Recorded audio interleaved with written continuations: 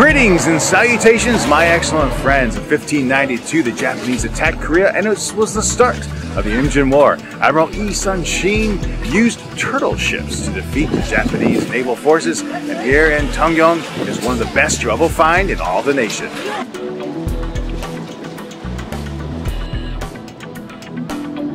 What made the turtle ship so effective was its innovative design. On top, the spikes were designed to repel boarders because you couldn't jump on top of the boat because of the spikes.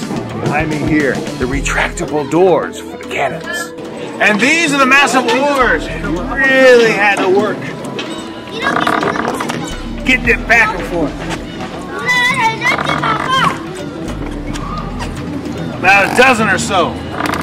We're on each craft, each side. Really gotta push your back into it.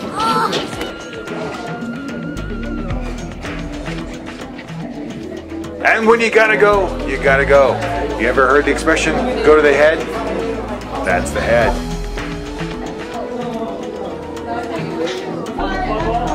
So there you have it, a quick look inside of Admiral Yi's turtle ship. As always, thanks for watching. We'll see you next time.